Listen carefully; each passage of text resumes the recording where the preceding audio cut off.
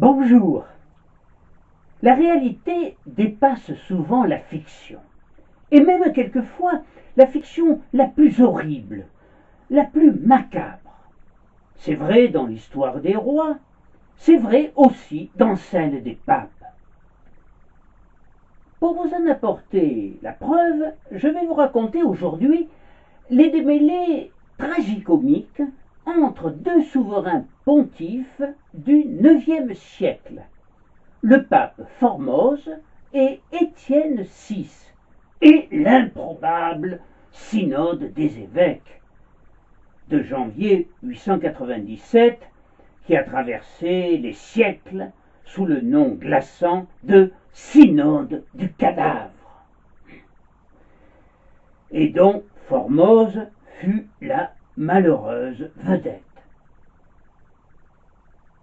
111e pape, selon l'annuaire pontifical qui fait autorité en la matière, ce Formole porte assurément un nom des plus ironiques au vu de l'histoire, qui signifie agréable à voir, un nom qui ne sera jamais plus porté par aucun pape. Était-il corse? Comme certains auteurs le pensent, né vers l'an 816 à Vivario, dans le hameau de Perello, au centre de l'île. Dans cette hypothèse, il serait le seul pape corse de l'histoire de la papauté.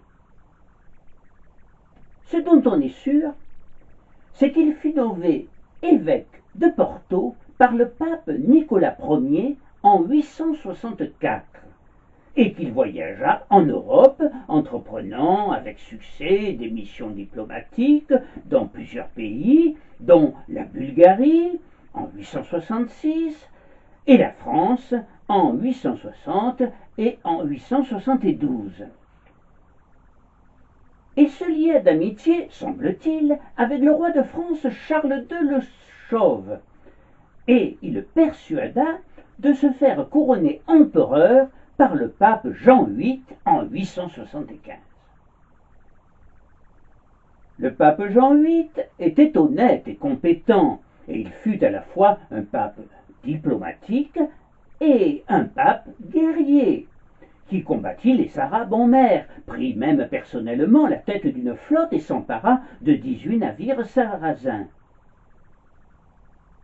Très vite, Formose, qui ne manque pas d'ambition et que ses succès diplomatiques ont conforté, commença à lorgner un peu ostensiblement le siège apostolique, euh, ce qui agaça le pape Jean VIII au plus haut point. Accusé, probablement à tort, de complot, Formose préféra fuir Rome plutôt que de tenter de s'expliquer. Aussitôt, le pape Jean VIII le dépose et en avril 876 l'excommunie. Deux ans plus tard, Formose, qui a eu le temps de cogiter, se soumet humblement et s'engage à ne pas s'écarter de la condition qui lui est imposée, celle d'un simple laïc en exil. Euh, la sentence d'excommunication est alors levée mais ce n'est qu'en 883 qu'il sera finalement réhabilité par un autre pape, Martin Ier. Celui-ci lui confia à nouveau le siège de Porto, et il reprendra alors sa remarquable ascension dans la hiérarchie, qui finira par aboutir à son élection comme pape en octobre 891. Il a alors 75 ans. Cette élection exaspère cependant un certain nombre de cardinaux qui lui reprochent sévèrement d'avoir accepté l'évêché de Rome alors qu'il était déjà évêque de Porto. En effet, une loi du droit canon avait été votée peu de temps auparavant, interdisant à un évêque de changer de diocèse de sa propre initiative ou de régner sur plusieurs d'entre eux. Certes, il avait sans doute mal lu les derniers articles du droit canon, et l'Église crut plus sage de faire impasse sur ce point bénin, vu surtout la cécité dont elle faisait preuve en faire des faits bien plus graves commis par d'autres papes connus pour leurs mœurs dépravées.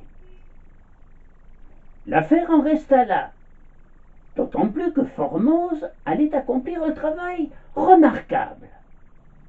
Durant son pontificat, pendant un peu moins de cinq ans, il entretint d'étroits contacts avec les églises locales pour trancher divers litiges. Il normalisa les relations de l'Église avec Byzance et il fit couronner empereur le roi d'Italie, Guy de Spolète, ainsi que son fils Lambert en 892. Mais à la mort de Guy de Spolète, c'est le carolingien Arnulf de Carinthie, roi de Germanie, qu'il sacre empereur en février 896 et non un membre de la maison de Spolète, ce qui révolte la veuve et le fils de Guy de Spolète. Leur haine atteint un tel niveau, un tel point, qu'ils iront jusqu'à programmer la mort de Formose. Mais ils n'eurent pas le temps de mettre leur plan à exécution, car Formose meurt peu de temps après, en avril, de mort naturelle. Lui succède Boniface VI, une jolie canaille, autrefois déposé deux fois comme prêtre euh, pour mœurs immorales, provoquant à juste titre la colère euh, du peuple romain. Mais quinze jours seulement après son intronisation, Boniface meurt d'une crise de goutte, ce qui fait de son pontificat le deuxième plus court de l'histoire. Puis, Étienne VI est élu pape en mai 896. L'une des premières tâches du nouveau pape, sous l'influence de Lambert de Spolète, dont la rage vis-à-vis du défunt Formose ne s'est pas apaisée, sera de mettre le cent onzième souverain pontife en jugement sous le nom de synode du cadavre, ou plus officiellement synode horrenda, synode effroyable. Je précise pour les néophytes en la matière qu'un synode dans l'Église est une assemblée d'ecclésiastiques délibérant sur des questions qui lui sont soumises. Il peut être diocésain, mais aussi convoqué par le pape, comme celui que nous allons évoquer. Lorsque Étienne VI fut élu pape, il faut savoir qu'il était évêque d'Ananie, titre qu'il avait dû de plus obtenu des propres mains de Formose, ah, ce qui souleva des questions sur la régularité de son élection. Celle-ci fut aussitôt contestée, toujours pour la même raison, un évêque ne pouvant passer d'un siège à l'autre. Ce sont ces mêmes évêques qui s'en étaient pris à Formose pour n'avoir pas respecté le droit canon, qui se retrouvèrent unis pour stigmatiser Étienne. Face à cette contestation de plus en plus virulente, Étienne trouva un subterfuge pour s'en sortir. En janvier 897, il réunit donc un synode à Rome pour juger post-mortem ce pape qui avait bafoué la législation canonique. Quel crime abominable ah, Toutefois, pour qu'un tel procès soit acceptable aux yeux de l'opinion publique, encore fallait-il que Formose se soit rendu coupable d'autres délits d'une bien plus grande gravité.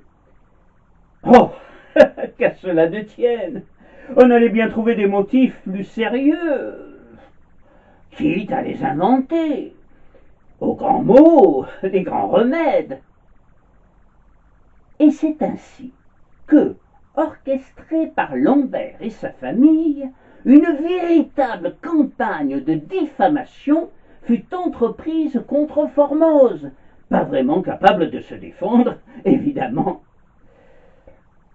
Tout d'abord, il fallait parvenir à attiser le courroux du peuple romain à son encontre, en envoyant des crieurs publics dans les rues afin de propager l'idée que ce pape infâme s'était rendu coupable de crimes abominables. Une partie des Romains fut très vite convaincue de la véracité des horreurs que l'on déversa alors sur lui. Après tout, un pape venu d'une île sauvage ne pouvait être qu'un sauvage. Pour conserver toutes les chances de son côté, Étienne se chargea lui-même de composer le jury qui allait juger Formose. Jury qu'il recruta parmi les évêques qui le soutenaient ou le craignaient. Sage précaution, me direz-vous. Il est vraisemblable que ces marionnettes qui composèrent ce jury aussi indépendant qu'un jury stalinien pensaient en fait que ce que souhaitait Étienne, en faisant juger in abstentia ce pape enterré depuis déjà neuf mois, c'était de souiller sa mémoire. Aussi, leur surprise fut-elle de taille lorsqu'ils furent conduits dans l'église Saint-Jean de Latran, la première construite dans Rome et la plus sainte de toutes, auprès du corps pourrissant de Formose qu'Étienne avait fait déterrer. Le cadavre était attaché sur un siège et revêtu de ses vêtements sacerdotaux et coiffé de la tiare pontificale. Oh, c'était un spectacle dantesque absolument horrible, insoutenable même. Il soulevait le cœur et provoqua des nausées et des vomissements, même chez les évêques les plus endurcis. à l'exception notable de l'évêque de Saëré, aujourd'hui Servétéry, futur pape Serge III, dont nous reparlerons. Imaginons à présent la scène. Formose se trouve en face du pape Étienne, assis sur le trône papal, donc en face du cadavre décomposé de Formose, Étienne, calmement, commence à lire l'acte d'accusation dans un silence de mort. C'est le qualificatif qui convient le mieux. Formose est accusé de parjure. Il avait menti afin de devenir pape alors qu'il était déjà évêque dans un autre diocèse. Il avait donc bafoué le droit canon. Il est accusé ensuite du crime singulier d'ambition de devenir pape. un crime particulièrement farfelu, dont chacun des membres de ce jury était probablement coupable. Tout cela aurait été risible en d'autres circonstances. Comme il se doit dans tout procès régulier, un avocat avait été désigné pour assurer la défense de l'accusé. On dirait aujourd'hui un avocat commis d'office c'est à un jeune diacre que fut dévolue, bien malgré lui, cette tâche singulière. Terrorisé, celui-ci devait répondre au nom du défunt à chacune des accusations portées contre lui. Lui faisant face, Étienne VI se métamorphose peu à peu. Son visage s'empourpre, ses yeux semblent vouloir jaillir de leurs orbites et il est de plus en plus en proie à de véritables crises convulsives. Il se lève, le corps, les bras et les jambes secoués de tremblements incontrôlés, hurle des injures à l'adresse du cadavre, puis se moque de son silence et éclate d'un rire frénétique. Les minutes du procès qui nous sont parvenues parleront de ces accès de rage hystérique. Puis, à nouveau, il accable le cadavre de Formose des pires noms d'oiseaux, et le somme de parler. Puis, quand le petit diacre, de plus en plus épouvanté, tente de marmonner une réponse, il est aussitôt réduit au silence par l'accusateur et menacé des flammes de l'enfer. Tous les évêques sont glacés d'horreur, n'osant pas remuer le petit doigt, et encore moins prononcer une parole. Les regards sont effarés, et de grosses gouttes de sueur coulent sur les fronts.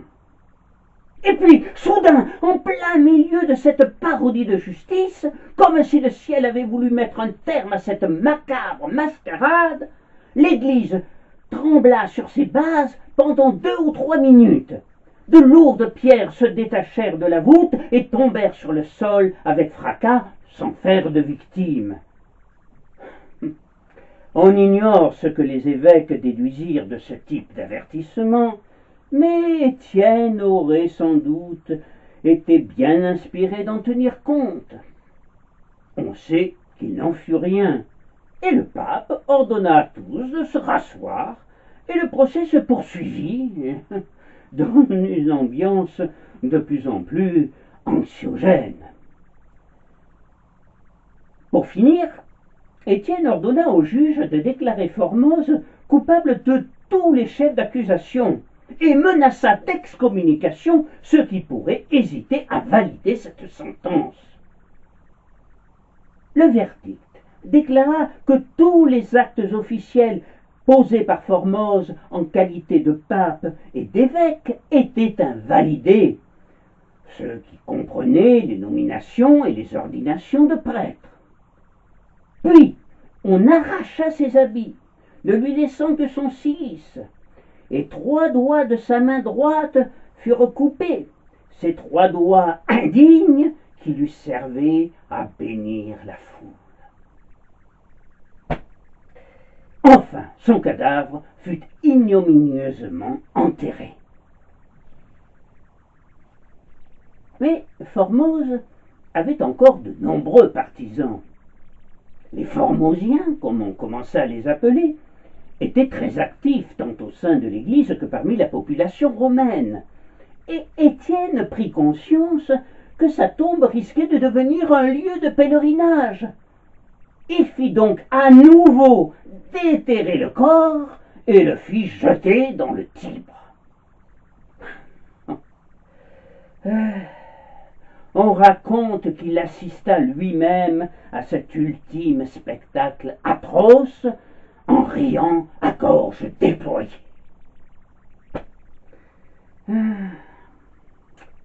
Le cadavre de ce pauvre Formose aurait été découvert rejeté par le Tibre lors de l'une de ses crues par un ermite qui le conserva pieusement quelques jours, puis le remit au pape Théodore II en 897. Il faut savoir que Théodore, dont le règne fut éphémère, vingt jours seulement, se consacra entièrement à la réhabilitation de Formose, condamna le synode du cadavre et confirma la validité de ses ordinations. Euh, il le fit porter avec les honneurs à la basilique Saint-Pierre, où reposent tant de ses prédécesseurs. Pour en revenir à Étienne VI, je ne vous étonnerai pas en vous disant qu'après le synode, il fut considéré par beaucoup comme un déséquilibré. On ne connaissait pas encore le terme de schizophrène, euh, qui ne fut utilisé pour la première fois qu'en 1911 par Eugène Bleuler, un psychiatre zurichois qui en écrivit les symptômes. Néanmoins, tout schizophrène qu'il devait être, Étienne obéissait aussi à certains mobiles rationnels, tels que le désir de sécuriser sa position en tant que pape, dès lors qu'il était coupable du même crime que Formose. Mais il n'imagina pas une seule seconde que pour un même crime, il risquait de subir un jour le même châtiment. Et c'est bien ce qui allait se passer. En effet, la nature macabre de ce procès inusité choqua énormément le peuple, qui finira par se soulever contre lui. Devant la tournure prise par les événements, Lambert et la famille Spoleto crurent plus prudent de se désolidariser de lui et lui retirèrent leur appui. Un beau matin, la foule en furie vint chercher Étienne au palais du Latran, lui arrachèrent ses vêtements et le jetèrent vulgairement en prison. Quelques jours plus tard, la terre trembla à nouveau à Rome et la basilique du Latran s'effondra, démontrant aux Romains, s'il en était encore besoin, l'intensité de la colère divine contre le pape Étienne. Enfin, en août 897, Étienne fut étranglé dans sa cellule.